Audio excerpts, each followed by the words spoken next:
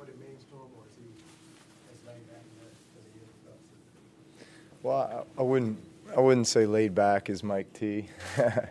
um, I think he's a he's a fierce competitor, you know, and I think there's a great sense of urgency with everything that Mike does, you know. So we see that on the practice field every day, you know, see it in the locker room. Um, he's also a fun-loving guy, you know. I mean, he loves his teammates. He loves loves the locker room, you know. Um, I mean, he'll be the first one to tell you. You know, he, he said it after the game. He said, "I love, I love this team. I love playing for this team. I love battling for this team." And um, I think he just has, you know, he just has an engine, you know, and he's got a fire that I think is pretty rare. You know, um, I think we all pride ourselves on being competitors and you know preparing the best we can to go out and perform on Sundays. But um, he's pretty rare. He, he's very rare um, the way that he goes about his business each and every week. Um, you know, everything you see on Sunday is what we see literally every rep, every rep in practice. I mean, there is there is not a single rep that's a you know I'm just going to take it easy this time kind of a thing. Um, he's full go all the time, um, preparing himself for that championship rep, because I think in his mind you know, that's how he's getting ready to play on Sunday. And that's how he's getting ready for bigger and bigger games down the road. He's always putting himself in that in that position. Drew, that first touchdown to Jared, how much did you guys kind of need that kind of jump start? Yeah, I thought that I thought that was really important. Um, you know, obviously they jumped out, you know, with two consecutive touchdown drives, um, and you know we kept shooting ourselves in the foot um, offensively with our first maybe what four or five possessions. It felt like it was penalties. It was um, just miscues and, and, and not very good execution. And so, yeah, that was big because I think that, that obviously gave us a lot of momentum going in at half. And then um, we came out with, with the, the, the ball, the first possession in the second half, and took the lead right there and, and then never looked back. Drew, what did you see there? It looked like you checked into that play. Yeah, we checked into it. Um, felt like we had an opportunity to throw a seam ball to Jared, and uh, he made a great, great catch, great run, great block by AK um, outside on the corner that you know kind of sprung him down the sideline. So I think Sean said you checked into the Kamara touchdown run as well. Yes, So you were seeing. we're che we're checking passes, we're checking runs, scoring touchdowns. That's good stuff. Drew, you mentioned how Mike was saying he loves his team. When did he say that in an interview, or did he address the locker room? Yeah, he just oh you know he obviously got a game ball. Um, Yeah, he's on- turns out you he's on that get thing for a you get game balls when you catch 144 passes in a season. 145. 140, yeah, that's right. Uh, what was the record? The, the previous record was 143. Okay.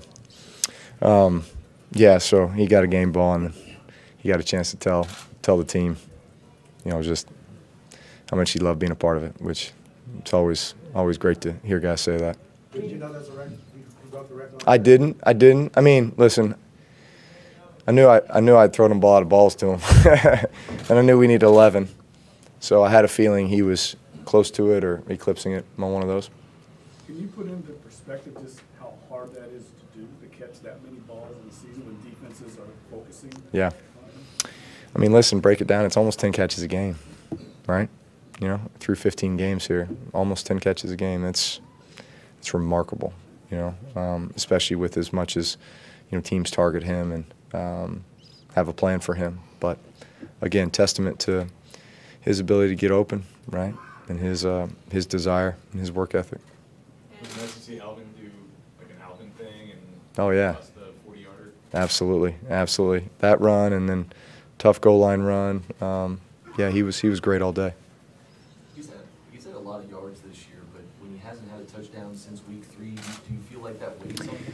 You know, I mean, I, I'm sure. Listen, in a, in a in a way, it weighs on all of us. You know, it's like because he's such a big part of this offense and, and what we do, and he's highly productive. You know, and typically with that comes right touchdowns. Right, that's a product of the the, the productivity. Right, but um, for one reason or another, you know, he he just hadn't hadn't gotten in the end zone um, for a while. But um, I hope we, we broke that seal, and uh, obviously he got in twice today, and hopefully there's a lot more where that came from. That block by that block by. That was a great block, yeah. Do, you have like a, I mean, I guess if you wanna say he was in a funk just from not having touchdowns, to find different ways Yeah. to, to help your team, like, is that something that? Well, see, that's the thing, you know, I, he's a team player, you know, and so, I mean, uh, for a guy like me, you know, hey, quarterbacks are used to throwing touchdown passes, but you know, if if if if I get to hand it off, you know, five or six times a game and, and watch our running backs go in the end zone, I'll be the happiest guy out there too. I don't care if I, I throw it or not, you know, and so it's man, what's what's my job to put everybody in the best position to succeed, right? And then and then Alvin, Alvin doing whatever he can to put the offense in the best position to succeed. You know, getting some of those hard yards, and maybe it doesn't result in him getting the touchdown, but you know, Mike Thomas got it, or you know, uh, Latavius Murray got it, or Jared got it, and it was because of his block that Jared got it, right? And so, man, that's good football. What did you see on the, second touchdown to Cook? Was a pretty. Yeah, yeah. Um, I trust him. Trust him. So, tried to throw it where he could get it, and the other guy couldn't. Do you remember maybe the earliest example question, guys. of Mike Thomas's intensity in practice? You mentioned it a, a minute ago. Yeah. And maybe getting really mad. Yeah. practice rep, No, or listen. He um. suspended or something. there's there's you'll definitely get a helmet slam you know once every week or two right um, whether it's you know he didn't run a route just like he wanted to or maybe you know the ball wasn't where it was supposed to be or he dr- you know rarely does does he get a hand on it and not bring it in but um, again he's just he's got high expectations right for himself and for everyone around him and it makes us all better Can I get one more? real quick? real quick yeah yeah CJ Gardner Johnson had a big, big play. yeah huge.